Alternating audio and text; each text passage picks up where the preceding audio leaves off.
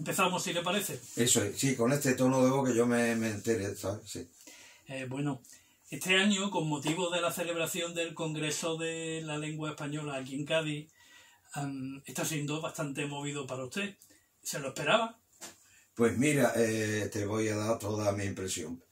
Primero, yo sé que, además me alegro por, por la ciudad a la que quiero, que el Congreso este año, y que iba a ser el 25, como se sabe, ¿no?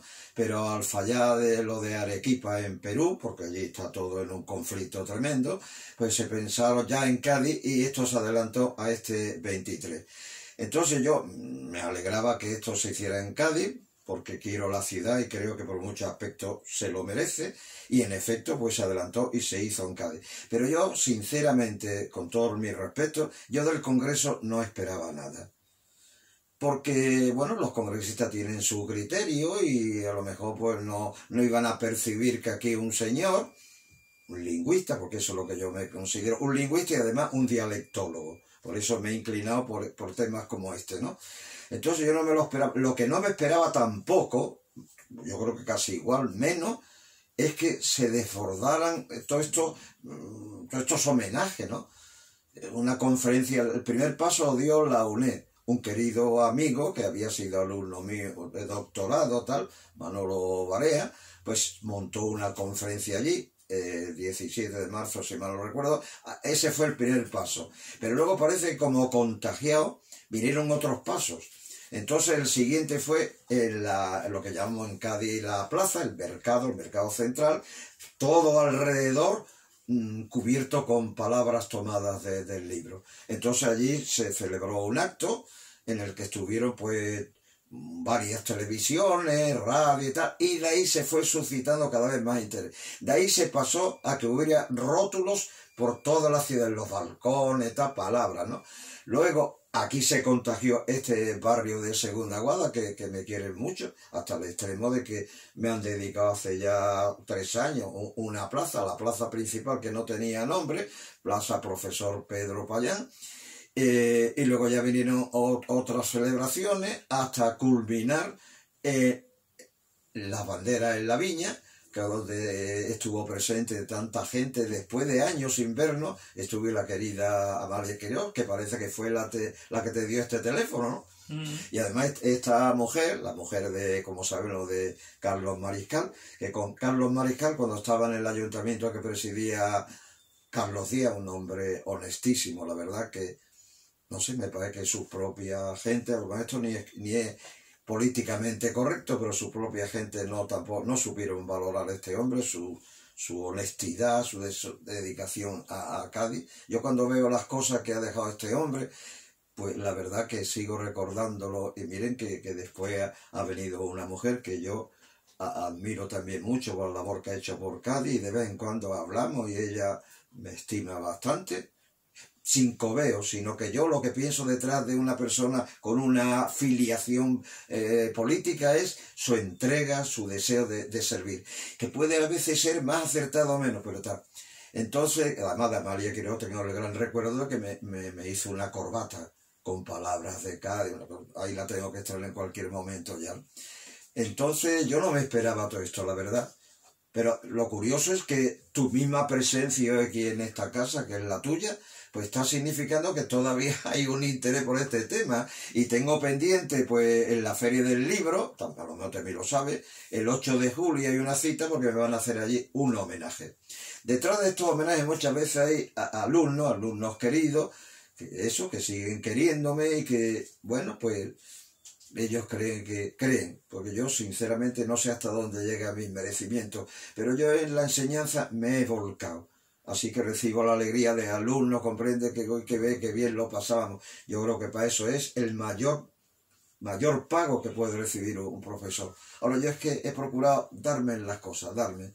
Entonces yo nunca esperaba esto, entonces muchas veces estaba, yo lo decía, estoy abrumado, conmovido, ¿no? Porque no para, el 8 de julio tengo eso. El otro día con mi querida prima Paqui estuvimos visitando el Museo de las Cortes, que el Museo Municipal de aquí, que lo dedicaron en las Cortes porque fue, lo hizo Cayetano del Toro al cumplirse el primer centenario de, de las Cortes, Bueno, pues eh, se llama así, allí hay una maqueta preciosa. Bueno, pues eh, se enteró la directora Fátima y ya me recibió y me dice, para nosotros no, no, que yo iba como un visitante más, yo no, yo no presumo de nada porque tampoco lo creo, ¿no?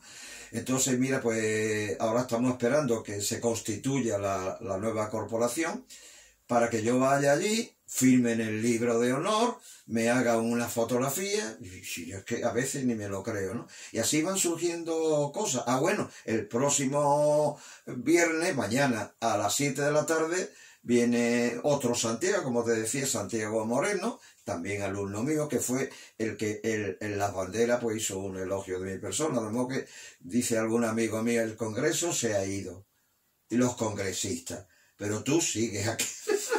bromea por su cariño. De modo que esta es la, sorpresa y lo que yo todavía, pues tu misma presencia aquí, pues también me sorprende, la verdad.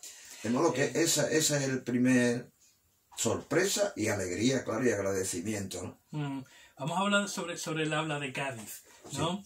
Eh, cuando se dice que el habla de Cádiz está compuesta de vulgarismos, eh, ¿eso es solo una definición meramente académica o tiene también pero, un tinte peyorativo que va más allá de su carácter académico. Pero ahora te pregunto, tú has dicho que consideran vulgarismo una colección de vulgarismo y lo dice la academia, un académico, ¿quién lo dice? No, yo ¿Eh? he escuchado alguna voz, he leído alguna voz durante el Congreso. Mm, ah, yo que al Congreso no me he enterado de lo que... Sé que algunas personas fueron al Congreso y no por, por, adhesión a mi persona y quedaron un tanto defraudadas, ¿sabes? Mm. No con todo respeto, ¿eh? Porque además yo precisamente a la persona que le debo más en este terreno, hace, no hace mucho falleció, Gregorio Salvador, al que le debo todo, todo lo que yo sé de dialectología, todo se lo debo a él, porque en la querida Universidad de la Luna, yo estaba entonces en Tenerife, en que pasé 14 años, desde que fue a hacer la mili, en Tenerife, una tierra para mí, vamos, adorable, de gente buena, generosa, de todo. Allí en la laguna, yo ya un poco tardíamente, porque un niño modesto del barrio de la Viña, yo no había hecho una carrera, pero mi inquietud me llevó, digo, pues ahora ha llegado el momento de hacer la carrera. Yo trabajaba en tráfico, hacía radio en la emisora Radio Club Tenerife, aquí había estado en Radio Juventud, que también aprendí mucho. Entonces, una de las asignaturas de este hombre hacía crítica literaria, era entonces el decano de la Facultad de Filosofía y Letras, y una de sus, de asignaturas era dialectología. Y ahí, naturalmente, hizo un recorrido por todas las variantes dialectales de España, allí lo conocí. Pero él, que era de un pueblo de Granada, que había con el gran maestro dialectólogo Manuel Alvar, eh, había hecho el ALEA, ALEA son la, la, denominación de ALA Lingüístico Etnográfico de Andalucía, que lo hicieron por toda Andalucía, de modo que él, con Manuel Alvar como director, había elaborado ese, ese ALA lingüístico, estuvo también en esta provincia de en Tarifa y algún pueblo más. Entonces aprendí todo esto, me contagió ese amor a la dialectología. Si yo hubiera seguido en Tenerife, a lo mejor hubiera cogido alguna población o la misma capital Santa Cruz, donde vivía yo, mi recorrido era eh, Santa Cruz, de ir a, nueve kilómetros a la laguna, a la universidad. Pues me contagió eso. Entonces eso se quedó ahí, digamos, nunca mejor dicho, soterrado. Y cuando ya tuve interés, volví a Cádiz, que ya lo, lo deseaba, pues llegó un momento que yo me planteé, incluso ya yendo a, a la escuela de maestría industrial, Ahí fue mi primera etapa docente, ya luego ya entré en la facultad y ahí he estado hasta que me he jubilado a los 70. Porque a los 65 podía haberme ido, pero yo me encontraba en plenitud todavía. Luego ya, digamos, la decadencia, todas estas cosas han venido luego, por eso ya yo echo de menos a, a Pepe y mi mujer, no solo por compañera, amiga, sino porque terminó actuando como madre ella me ayudaba en todo, me ha hecho todo, porque mis dificultades fueron creciendo. Entonces, cuando vine a Cádiz, ya estaba instalado ya en, la Escuela de Maestría Industrial, allí en el Corralón La la Viña, me planteé, bueno, yo tengo esos conocimientos, ¿qué podría yo hacer? Ya estaba ejerciendo la docencia. Hombre, yo podría aplicar todo eso que conozco de dialectología a esta ciudad que quiero, ¿no? Y entonces ahí surgió todo. Eh, recuerdo, anecdóticamente, que los propios alumnos sabían ya de mi interés y de pronto venía, don Pedro, profesor, que aquí le traigo una palabrita. Y bueno, pues ya empecé ahí a recoger materiales. Luego hice unas entrevistas grabadas con las que hice mi tesis, el español, el español hablado en, en Cádiz, que me la dirigió Gregorio Salvador, con el que ya he tenido una relación hasta que ha fallecido ahora. De modo que ya estaba yo ligado con la dialectología como asignatura y disciplina lingüística, pero sobre todo en este caso por, este Cádiz. Digo, ¿qué podría ser? Pues claro, mi primer trabajo fue eh, estudio lingüístico del barrio de la Viña, que me lo dirigió otro gran profesor, he tenido suerte, eh, Vidal Lamiki, que entonces eh, Cádiz dependía de la Universidad de Sevilla, era un colegio universitario, ahí pues todavía yo no ejercía, pero yo tenía interés por hacer un, trabajo. Lo primero fue la viña. La viña que fue luego, claro, prácticamente un barrio popular tan carismático, como dicen todos, de, la ciudad de Cádiz, pues esa fue eh, la base. Entonces, bueno, pues nada, ahí empecé ya a trabajar.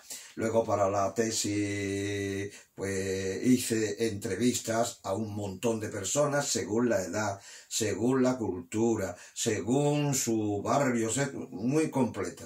Fue un trabajo arduo que mereció naturalmente, bueno, todas las mejores cosas. Y él me puso, un honor para mí, un prólogo en el que destacaba mi enorme gaditanía, ¿no? Es verdad, es verdad, ¿no?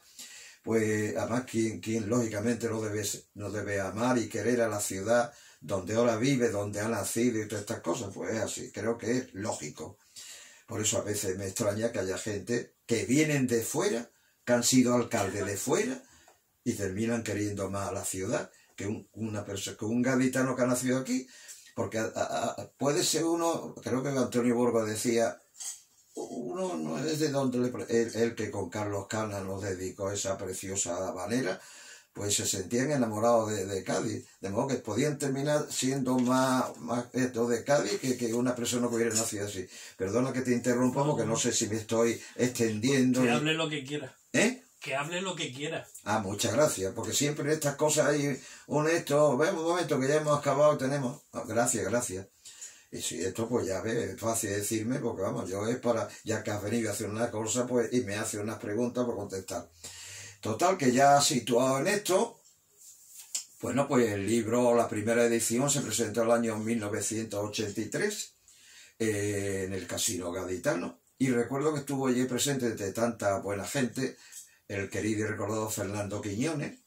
Y en la puerta me dijo, fue una profecía, ¿eh? un vaticinio importante Dice, mira, este libro que tú has presentado hoy aquí, tú vas a ser mayorcito con un bastón y el libro será, seguirá siendo importante, vendido y, valorado. Oye, pues creo que Fernando Quiñones, querido amigo, no, va camino de no, no equivocarse. Total, que entonces el año 83, que yo recuerdo antes, fui a la, a la caja de ahorro de Cádiz entonces, no ni caja ni nada, y el que se encargaba de las publicaciones, pues antes de entrar luego, al que terminó publicando la primera y varias, ¿no? hasta la cuarta, la cuarta inclusive. Pues un señor que llevaba publicaciones en la caja de oro de Cádiz, y digo, yo tengo este proyecto, ¿cómo podría? El hombre miró, miró así y dice, esto no se puede hacer. Hombre, porque, hombre, yo digo, ¿y qué le pasa? No, hombre, un estudio como hecho, la verdad, pero puso una cara de, de, de, sagrado, como decir, quiero decir, al, hilo de, los vulgarismos, ¿no? Me dice, se va a publicar esta, vamos, por no decir una cosa fea, ¿no? Malsonante. Se va a publicar esto. Bueno, pues entonces yo pues, me desalenté un poco, pero digo, pero entonces me hicieron miembro de la cátedra municipal Adolfo de Castro. E incluso llegué a ser hasta, en algún momento, hasta el presidente de la parte de literatura, ¿no? Bueno, pero otros compañeros pues dijeron, hombre, pues esto merece la pena, que había que hacer alguna actividad cultural, en este caso de literatura, otros eran de historia, de patrimonio artístico. Bueno, esto lo vamos a publicar. Y en efecto, la cátedra de Adolfo de Castro publicó cuatro ediciones. Y se estaba notando que el éxito ya cundía. Pero llegó un momento que, claro, las cosas cambiaron, ya, pues bueno, total, que entonces ellos mismos me dieron, mira, pues hemos hablado con Quorum, y es a, partir de la, de la, de la de la sexta, porque la quinta todavía estaba Josefina Junquera de concejal de, de, cultura, hizo una edición maravillosa, fue la quinta, pero todavía era del ayuntamiento de Cádiz, ya no la cátedra.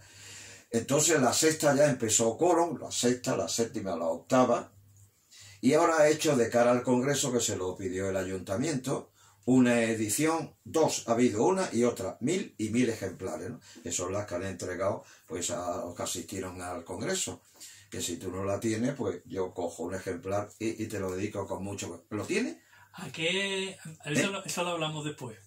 Exacto, y tanto, eso ya es otro tema.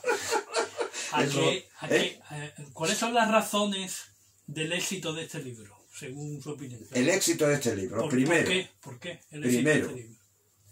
Primero que, por eso te digo que ha hecho que los vulgarismos. Primero, ¿qué entiende? Sea académico, sea el presidente de la... A mí me da el igual en este momento. ¿Qué se entiende por vulgarismo?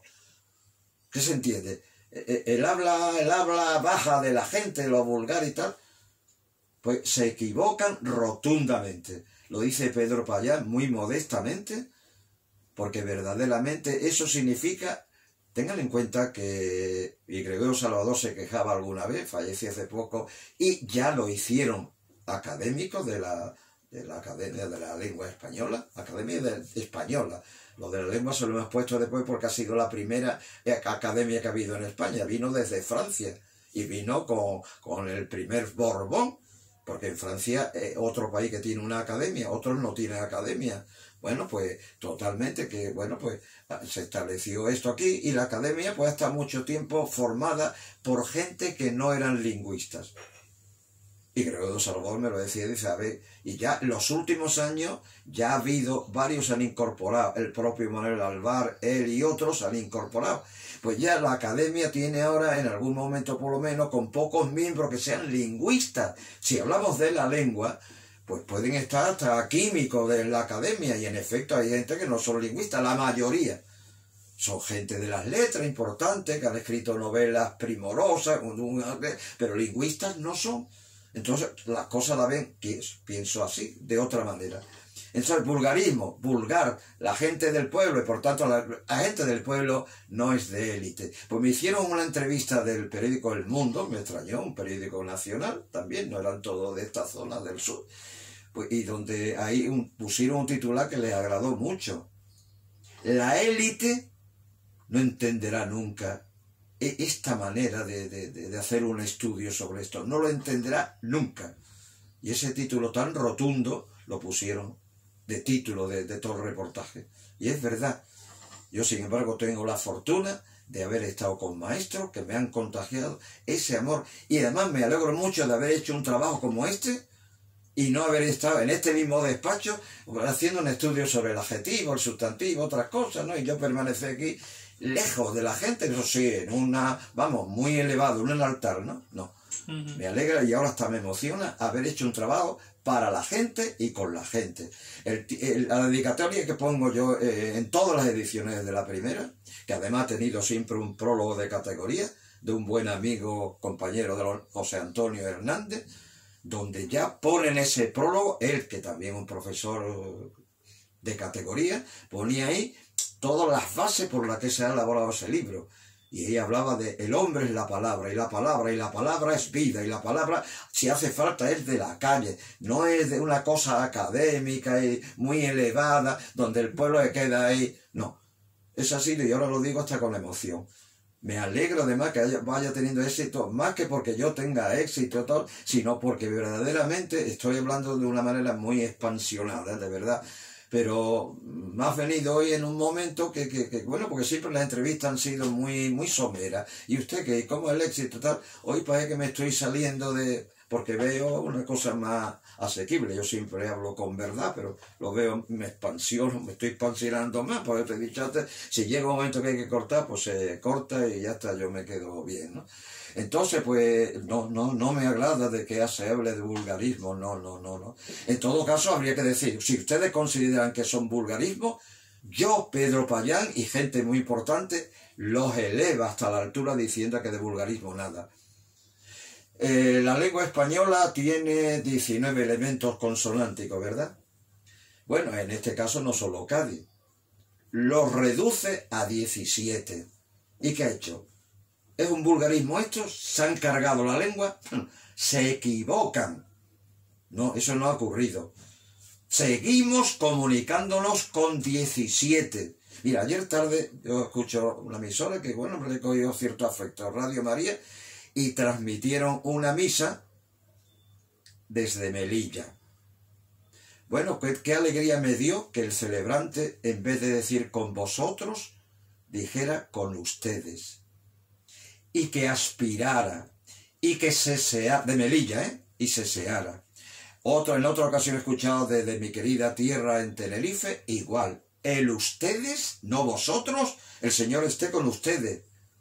Pero es que Juan Pablo II cuando fue a Cuba y lo hizo luego en Granada, se enteró de eso y siempre decía en Cuba en las celebraciones, con ustedes, no con vosotros que, que, no, que, es correcto, cuidado, es la norma, hasta ahí respetable, pero que no nos diga que como dicen con ustedes, se cargan todos, no nos cargamos nada, ni nos comemos nada, que los mismos hablantes andaluces dicen, es que nos, nos comemos, mentira, tenemos cosas muy buenas en la gastronomía para comerla, eso no es para reírse, pero es así. Entonces, ¿eh? Me, me, pregunta de vez en cuando y así esto es más dialogante, hombre, sí, si no, ¿para qué estoy lanzando un discurso? ¿no? Le preguntaba ¿Por qué cree que se ha vendido tanto su libro? Porque la gente se sienten ahí, sienten que su manera, y además me lo dice, ¿eh? su manera de hablar, cuando han visto los rótulos en la plaza, en los balcones y tal, han sentido que, se han sentido reflejados. De modo que al final no solo el trabajo del profesor Payán, es que verdaderamente se están viendo, es como si hubiera un retrato. Y además la gente me lo ha dicho, oye, tiene usted razón, así hablamos. Y que alguien, alguien, pues haya, se haya desprendido de elitismo y tonterías vanas para dedicarse y poner atención en eso, la gente lo valora y lo agradecen. Es más, mucha gente viene de fuera y si antes se llevaban de las tiendas, que me lo han confesado, una tacita de plata, ahora generalmente no digo que se estorbe, pueden llevarla también, encantado, pero se llevan este libro. Ha habido una librería que de cara al carnaval en la calle Cobo, tenía el escaparate lleno del libro, dice, para que ustedes entiendan las letras del carnaval. Cosas pintorescas, de anécdotas para, para estar en varias entrevistas. Entonces la gente se ha sentido reflejada. Y te, te digo la dedicatoria. A todos los gaditanos, no a los que me entienden o no me entienden, a todos los gaditanos, mi admiración, ¿eh? mi admiración como investigador y el cariño y agradecimiento de a todos mis paisanos, más o menos digo yo, totalmente. Porque yo sé de otros libros similares que se han publicado en otros sitios y no ha tenido tanto éxito. En la misma cercana Sevilla, Pedro Carbonero, un buen amigo, editó, la verdad que era un libro más cortito, no prestó atención a tantas cosas, más bien se inclinó por la fonética que por la parte léxica. El mío tiene la fonética, la fonética está más extendida en el español hablado en Cádiz, ahí ya es un estudio riguroso. El otro es más divulgativo, pero como dice mi querido en el prólogo Antonio Hernández, no es menos riguroso. Es divulgativo, que todo el mundo lo acceda a él, pero al mismo tiempo es riguroso. Tú ves una palabra definida, que, no es fácil, ¿eh? y a continuación las fuentes en las que me, me he apoyado. Cuando no he tenido fuente escrita, ha sido porque lo he oído. A veces está uno va tomando una cerveza con alguien y en una servilleta misma ha escrito una palabra porque en aquel momento la percibía y estaba en, en, su sitio. De modo que yo encantado en haber aportado a esta ciudad este trabajito, pero además en pocos sitios ha sido también acogido un trabajo como este como aquí en Cádiz. Ocho ediciones, dos ediciones extraordinarias. Y esto sigue. La última liquidación que me hizo Coro, que yo creía que esto ya apenas quedaba, me, me llevó una sorpresa grande tantos ejemplares que seguían, la verdad que no tengo más que motivo de satisfacción de haber regalado a esta ciudad mía y a mis paisanos un trabajo sencillo, pero un trabajo donde la gente se siente reflejada. Eh, Esa es mi intención. Y... Permítame preguntarle, en el prólogo, en la introducción de la octava edición, que es del año 2013, hace 10 años, escribió usted que los gaditanos nos avergonzamos y acomplejamos por nuestro, por nuestro modo de hablar. ¿Cree, usted que eso ha cambiado? Yo creo que puede ir cambiando poco a poco. Mira, yo, yo estuve en el equipo, que ahí tengo el taller de- del habla, en el equipo de cultura andaluza, porque claro, yo he trabajado del habla de Cádiz, pero yo también he hecho muchas cosas de la- la- hablas en plural, y digo las hablas, y lo decimos los lingüistas, porque ese, ese trabajo de, con, con cultura andaluza, pues se le puso el título El habla andaluza. Pero no, y tú y cualquiera somos conscientes de que no hay una sola habla. Hombre, en general, yo las puedo organizar y digo, esto es, hay rasgos comunes para toda Andalucía. Pero luego notamos algunos rasgos que no es lo mismo de un sector de Andalucía que de otro. Por ejemplo, la Andalucía oriental, Granada, Córdoba también, Córdoba, Granada, Jaén, hasta Almería, ese sector, Málaga también un poco, pero no del todo, abre las vocales cordobés. Eh, Eso para nosotros es insólito, eso no. Nosotros las vocales redondas y perfectas. Las podemos prolongar, alargar, tal, pero no, no, no. la- las vocales son tal como son. Ellos, sin embargo, tienen ese rasgo. Eh, hay sectores en los que predomina el ceceo. Cali, Sevilla y Huelva, Huelva un poquito menos, pero también somos ceseantes. En el caso aquí, mm, la provincia no, no es lo mismo que la provincia de Sevilla, es ceseante la capital. Los pueblos de alrededor son ceceantes. Hay una obra de los Quinteros, Sangre Gorda, donde aparece Candelita, vaya nombre que le pusieron los Quinteros, porque Candelita era, vamos, ah, fogosa hasta el extremo. Y el novio, el aspirante a ser novio, Santiago, perdón, se llamaba así, no tengo la culpa, ¿eh? Pues era la sangre gorda, el tío. Ese era. Candelita era ceseante porque era de Sevilla capital. Digo, qué manera de recoger los quiteros. Sin embargo, eh, el Santiago Sangre Gorda era ceceante. La otra es que no lo, no, no, pero hombre, lo queríamos remover, no por el ceceo, ¿eh? no, no, sino por la, vamos, tranquilito, ¿eh? no. Eh, entonces, pues Andalucía está dividida en tres sectores en cuanto a, la S o Z seseante y seseante y sobre todo Cádiz, el triángulo lo podemos organizar como que pasa también como en la génesis del flamenco, Cádiz, Sevilla y Huelva, ese triángulo. Y a los demás o son con vocales abiertas o hay un sector, el que menos quizá, ceceante, el que menos, pero también. Entonces hay que hablar de las hablas andaluzas y a la hora del léxico igual. Yo veo un programa por la tarde y aparece, estas son palabras de Málaga, de esto, tal son otras. Lo que pasa es que algunas veces las palabras también vuelan y viajan y se van de un sitio a otro. Yo estoy escuchando varias veces, y el origen ha sido Cádiz, más perdido que el barco al arroz. Bueno, pues yo he escuchado el más perdido que el barco al arroz, todo el mundo se lo ha apoderado. Pero algunas veces se lo ha apoderado gente que no han visto un barco en su vida. Porque las palabras transmigran, van a otro sitio, ¿no? Lo que pasa es que el origen ya... ¿De dónde vino esto? Ah, pues yo no sé. Pero el origen de eso es en Cádiz. El año, creo que mil, tengo la cita, en el libro correcta. El año 1956, un barco llamado Alcatraz, al llegar al muelle, que como llamamos en Cádiz al puerto, como sabéis, ¿no? el muelle. Entonces tenemos que hay anécdota tela en este sentido. Un señor que coge el taxi, lléveme usted al, a- al puerto, pensando en el muelle. Y el taxista que sigue para adelante, oiga, pero pues, si, si el puerto ahí, di- ah, hombre, que eso es el muelle, hombre, claro, hombre.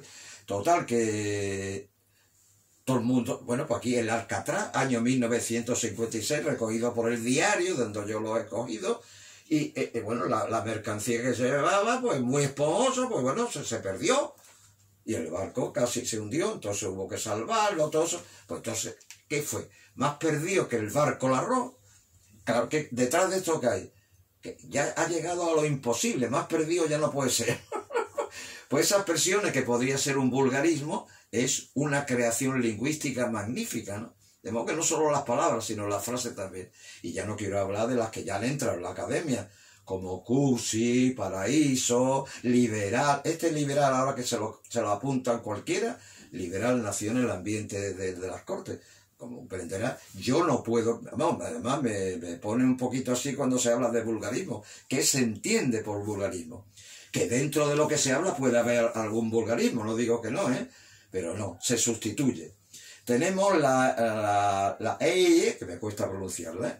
y la Y, son dos consonantes, ¿no? Claro, claro, pues ustedes, ¿cómo lo van a arreglar si se cargan una? No, se olvida del ingenio del hablante gaditano y andaluz en general. ¿eh? Entonces, ¿qué hacemos? Pues ya no decimos pollo. Ay, ¿qué hacen ustedes con el animalito del kiriquí? No, no, no, no, no pasa nada. Es, será pollo. Ah, pero el otro, ¿y ahora cómo? El otro es un pollete. Y ya está, lo hemos arreglado. Y así te podía citar centenares de ejemplos. No, no, no. No hay vulgarismo, no hay. Sí. Bueno, pues me parece que va la cosa, ¿no? Le, insisto la pregunta. Esto va a dar para varios días, ¿no? le insisto la pregunta. ¿Usted, Tú pregúntame a mí, ¿eh? si no me lanzo yo, ¿no? ¿Usted cree que seguimos acomplejados por Ah, era, era la pregunta, sí. Bueno, pues dentro del equipo de cultura andaluza me pusieron ya como mote el marqués del infundado complejo, porque de eso hablaba yo sobre todo, el infundado, esto lo he dicho por toda Andalucía, porque no es solo gaditano, como sabes, el andaluz en general. Y luego desde fuera también han colaborado, y nosotros pues lo hemos aguantado, de que al final los que hablan en andaluz, pues ya lo sabemos, son las criadas, la gente que no, no, pues con todo respeto, pero que la gente que no significa una persona, incluso los propios actores andaluces, han tenido que pasar a hablar el castellano más correcto que se vamos, yo creo que hasta se pasaba, ¿no? Porque en andaluz no lo admitían en ninguna parte, o por lo menos ellos se sentían que no podían, ¿no? Eso es un complejo infundado, porque al final lo que importa que, ¿qué es la lengua? Es comunicarse, ¿no? Entonces, si tú te comunicas y se, y se entiende, y el que no quiere entender es porque no quiere entender. Dice el Manu Sánchez en su programa de los sábados, dice, el que no entienda, peor para él. Naturalmente, ¿no? Entonces no tiene, por eso yo le llamaba infundado, y así lo, por toda Andalucía que recorrimos, era uno de los temas. Hacía una descripción de lo que iba a recoger luego en el libro, el taller 15, pero realmente el infundado complejo. Sin sentido, ¿eh? Hay una intención política también, ¿no? hombre, hombre, hombre, sí. La intención política se introduce en todos los campos, ¿eh? En todos los campos. Y si puede introducirse en un campo ya tremendo como es la educación y la enseñanza, ahí ya hemos topado, ¿no? No, todo es injusto. Como es injusto que, que realmente la propia Andalucía en general tenga unas características tan propias en todas sus cosas, en su arte, en todo, y no se valore lo suficiente. Ya es una cuestión de los demás que quieran valorar no todo. Y ahora mismo, y ahora mismo, estamos viendo eh, reparto de cosas y se dan más cosas. Y no quiero entrar en este tema porque ni tengo autoridad, pero sí hay cosas que me indignan. A lo, como los niños que travieso, los niños que eh, patalean y hay que concederles para que se callen, ¿no? Pues eso está pasando en España también. Patalean pero Andalucía no patalea nunca, de modo que mira, pues si están conformes y adelante, de modo que explicado lo infundado, que es infundado, no tiene sentido. Sigue preguntando si no esto es una conferencia, ¿sabes? hablando, hablando de educación, de un tiempo, de unos años a esta parte, se le está dando menos valor a las disciplinas humanísticas en favor de las disciplinas No, no hable de eso, ¿eh? Porque ¿Qué opinión tiene puedo, usted puedo, puedo terminar y ya esto es otro tema. Puedo eh, eh, eh, a mí me indigna mucho. Además se quiere hacer una renovación de la historia y de las humanidades, tú lo has dicho, ¿eh? Se ve que lo siente de cerca, ¿eh? Las humanidades a cargárselas si se puede. Ahí. Nada. De modo que eh, el Platón, el otro, anda, hombre, hay que eliminar lo que son las... Señor, si en Grecia, como luego en Roma, más en Grecia todavía, esa era la cultura, de, eso hemos recibido todo. A mí que me importa a lo menos si era, además era un concepto que, fíjate, tantos años antes de Cristo, ¿qué concepto era eh, eso? El tío machismo, hay que quitarlo de en medio, ¿qué es eso? entonces me imagino que ese concepto ni existía, ¿no? Se ha puesto muy en marcha últimamente. Será una necesidad, lo digo que no. Necesidad quitar ese machismo, eliminarlo, ¿no? Pero no, no. De modo que no, no, no. Todo ese ataque a las humanidades, ¿no? ¿Qué pasa? Que las humanidades pueden estorbar, ¿sabes? La gente es mejor que siga analfabeta y que se le pueda manejar. Me, ha ido a otro tema que es, lateral a esto de, del habla y de, lo lingüístico. ¿eh? Mm Eh, bueno, y me hablaba ya para terminar, me hablaba usted. Y más, más vale, ¿eh? Santiago, Santiago que va a tener ahí para varios programas, vamos. Me hablaba usted al principio de que para la Feria del Libro del mes que viene. Sí, el 8 de julio me van a hacer un homenaje, que me ha sorprendido también. bueno, ¿no? teniendo en cuenta la cantidad de libros que han vendido los libreros de Cádiz de su, de su obra, me parece que era una cosa justa. ¿no? Pues sí, yo mira, yo no, no quiero dejar aparcada mi, mi, no sé si se llama modestia, no sé, humildad, modestia, no sé, yo no, no.